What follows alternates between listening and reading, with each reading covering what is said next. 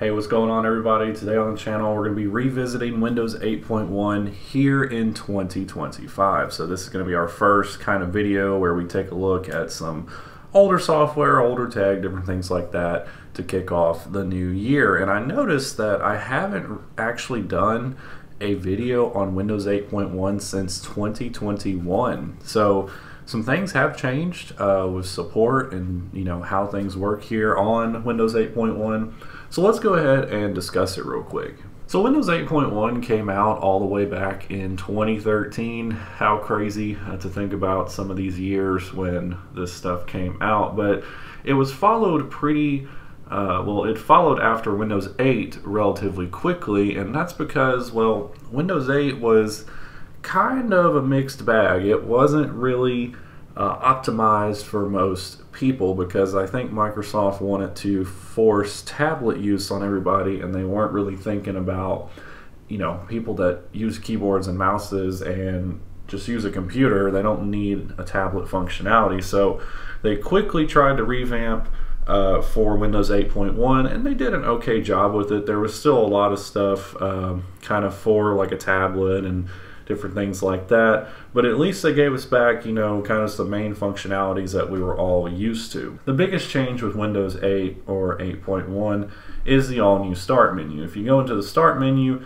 you notice that it looked quite different than Windows 7. You know, we've had the same old start menu for years and years and years. It just kind of pops up down there in the bottom left hand corner. You can quickly access whatever you want. Well, now we have kind of more like a home screen with a bunch of applications, uh, definitely tablet-like. And Microsoft made a lot of new apps, as you can see. These are all different applications. They're all full screen apps. So you have like mail, weather, stocks, photos, different things like that. You also had some full screen like Microsoft Office applications like OneNote and just different stuff like that. However, some of this was kind of confusing because you had a lot of duplicated applications. You know, it just kind of didn't really make sense. But I guess at the same time, you know, Microsoft they kind of made all these new apps, and they're like, well, we better include them. I mean, we already made them, but you know, you'll look at things like uh, the calculator, uh, for example. You know, there's two calculator uh, applications. The typical one that we always have, and then there's a new full screen one. Same thing goes with like Internet Explorer. You could you know, click on the Internet Explorer application, which is the new one here. It's nice and full screen. It looks completely different. Or you can just use the Internet Explorer that is installed here on the desktop. So um, actually what has happened recently is you have switched to the new Microsoft Edge, which was for security reasons and stuff like that. But you can see that here we are accessing just a normal desktop version of Internet Explorer slash Microsoft Edge. So there was a lot of duplicated things there. There was also some new kind of hot corners that you could access. So if you were in a full screen application, you could go down to the bottom left, you could access the start menu, which would take you back to the home screen. If you go up here in the top left corner, uh, you could do kind of like some app switching, different things like that. And then over here in the right and the bottom right corners, you could access kind of like a little quick uh, controls menu here. So there's your search functionality, share devices, and your device settings. So you could uh, do different stuff like that. So yeah, overall design purpose for Windows 8 was going to definitely be more of a tablet-oriented experience, but Microsoft kind of jumped the gun on that one, it seemed like. So they had to kind of tone things back down to normal for Windows 8, and then obviously, or I should say Windows 8.1, and then with 10 and 11 now today, obviously they have kind of went back to their roots, which is a good thing. I guess it's just something like, you know, if it ain't broke, don't fix it. But overall, like design wise, I mean, it's still super familiar. One of the things I like to look at is the File Explorer. This File Explorer looks so much like Windows 11, Windows 10 uh, that we have today. Uh, same with the icons and different things like that. So it is nice to see kind of like that File Explorer that we all know and love. Um, another thing about using this here uh, today in 2025 that's kind of changed is uh, support. There's no more support for Windows 8.1. Uh, Microsoft actually ended support uh, in late 20. Well, I think it was the beginning of 23. Oh yeah, it was January 2023, January 10th, as you can see right here. So they ended the support here, no longer doing extended security updates for Windows 8.1. And that's a pretty big deal.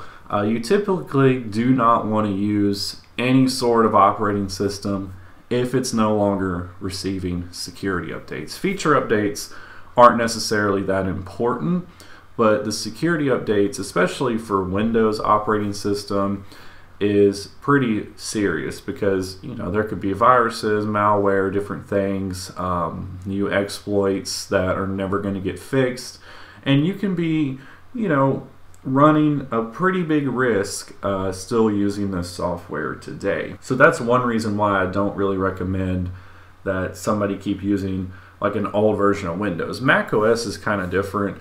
Uh, you know, Apple supported things like High Sierra for many years. They're still supporting like two, three year old operating systems, no problem. And they'll do that for many years to come. I mean, I'm still using my 2018 MacBook Air with, you know, I can't get the latest version. So I'm still using the old software and it's still getting security updates. So um, that is nice here. But Windows, yeah, it's definitely different. Also, something you'll notice is you're not going to be able to download like latest versions of applications, different things like that. Um, uh, they basically shut down the Microsoft Store because every time I try to open it, all it does is spin and spin and spin. If we take a look at some kind of main applications here, so for example, if you look at Google Chrome, it says download Chrome for Windows 8.1 and 7 and 8, but it says this device will won't receive updates because Chrome no longer supports your operating system. So, you know, you download Chrome, you're not going to get any security updates or updates for Chrome. Same goes with something like Firefox. Go to Firefox, it says extended support release, no longer supports Windows 8.1. Now, Steam, for example, actually it doesn't say anything about downloading, like not supporting or anything. It just says download for Windows. But I'm pretty sure something like Steam uh, is the same way. I'm not sure if you'll even be able to download like latest games or things like that. So what's the long story short here? Windows 8.1 in 2025. Well, main problem here is you're no longer going to receive any support, any security updates for this operating system, which makes it like a huge risk to continue to use.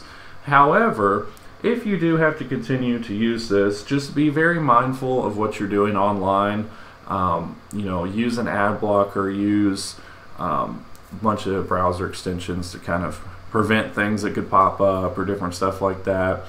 You know, go to websites that you trust. Don't click on any suspicious email links or anything like that if you're going to keep using it.